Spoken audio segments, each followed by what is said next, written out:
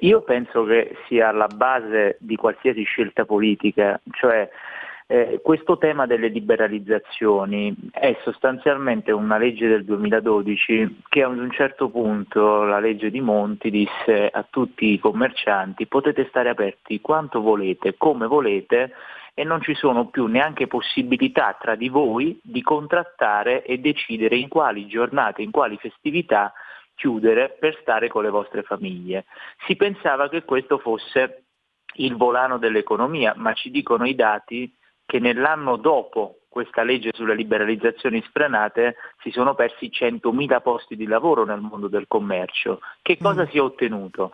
Semplicemente che il, l'esercente, il negoziante, ma anche il suo dipendente passassero sette giorni su sette nell'esercizio commerciale, sacrificando ulteriormente la famiglia senza nuovi introiti, ma con più costi sull'energia, sui dipendenti. Gli introiti si sono solo spalmati su sette giorni. Mm. Alla, alla, fine quello che eh, ci restituisce questo esempio è semplicemente un ulteriore impoverimento della persona sia nelle relazioni sociali sia nel tempo libero ma soprattutto nel tempo con la sua famiglia. E eh, questi discorsi ormai purtroppo non vanno più di moda perché adesso è tutto economia, è tutto dobbiamo lavorare, lavorare, lavorare si vive per lavorare, c'è questa considerazione qui, ma sostanzialmente se noi non riusciamo a garantire a colui che lavora anche dei momenti in cui possa eh, riuscire ad andare via dal, mondo, via dal lavoro e poter stare appunto con i propri affetti,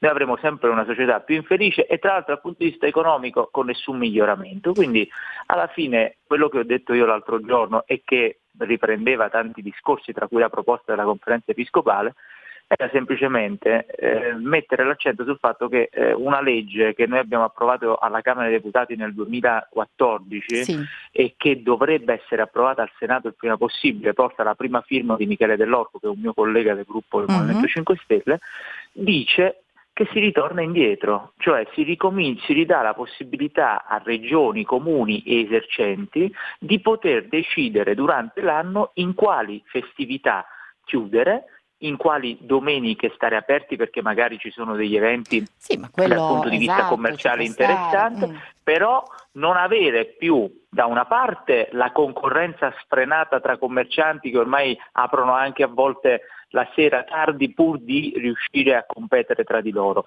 e due, non mettere in, com- in concorrenza gli esercizi commerciali di quartiere con i centri commerciali, perché poi si è innescata una tale corsa a stare sempre aperti, per cui sia i lavoratori dipendenti dei centri commerciali, sia gli esercenti e i loro dipendenti di quartiere, ormai passano la loro vita nell'esercizio economico senza avere, ripeto, nessun giovamento se non più costi. In questa legge, Infatti. poi concludo, però c'è un'altra cosa ancora, cioè? non abbiamo solo voluto dare la possibilità di regolamentare di nuovo gli orari di chiusura, le giornate di chiusura per le festività, ma anche finanziamenti agli esercizi commerciali per affrontare eh, eser- eh, efficientamenti energetici, mm-hmm. quindi ridurre i costi dell'energia e i pagamenti elettronici. Sappiamo che tutta la questione dei POS è un problema dei commercianti perché ci sono dei costi bancari molto alti, quindi quella legge stanzia anche 18 milioni di euro per aiutare gli esercizi commerciali a ridurre una serie di spese fisse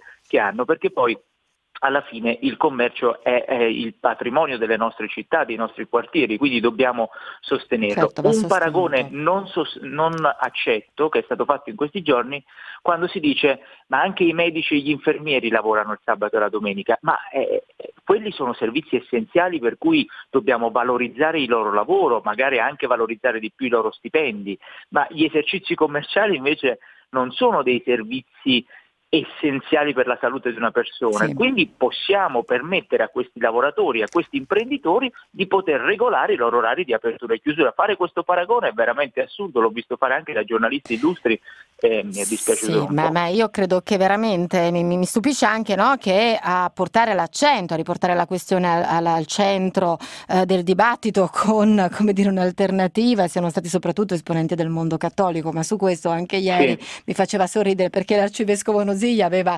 subito liquidato questa polemica, no? dicendo quello che stava dicendo lei adesso. Un conto sono i lavori essenziali, per fare la spesa ci si può andare anche un altro giorno, anche perché la ah, spesa è certo. sempre quella, non è che se c'è un giorno in più aperto io compro di più di pesce, di pane, di verdura, di scatolame, no? Ma Quindi è proprio una questione... passare mm.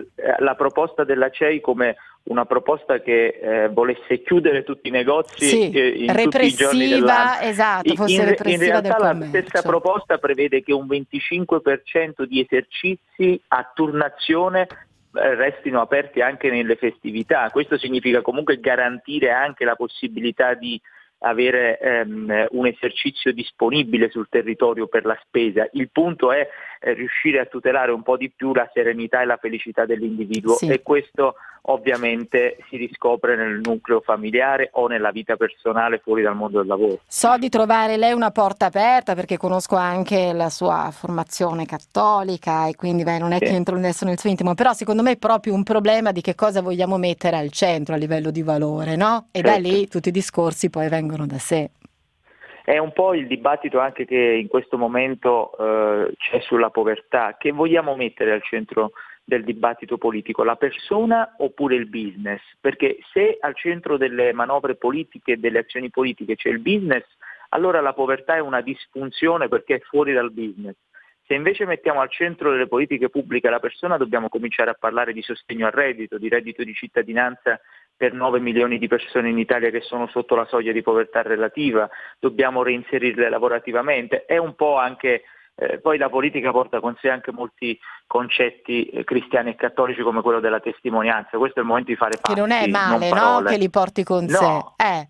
Eh, no, li deve portare con eh. sé. Il, il concetto e il valore di fare fatti e dimostrare eh, con le opere quello che dici. Eh, siamo nel momento storico giusto, adesso è il momento di aiutare la parte più debole della società perché aiutare, se non aiutiamo quella la società imploderà su se stessa, aumentano sempre di più i livelli di povertà relativa tra coloro che lavorano, non tra coloro che sono disoccupati. Tra questi ci sono anche molti dipendenti degli esercizi commerciali, molti dipendenti eh, dei centri commerciali che lavorano sotto, con uno stipendio sotto la soglia di povertà relativa.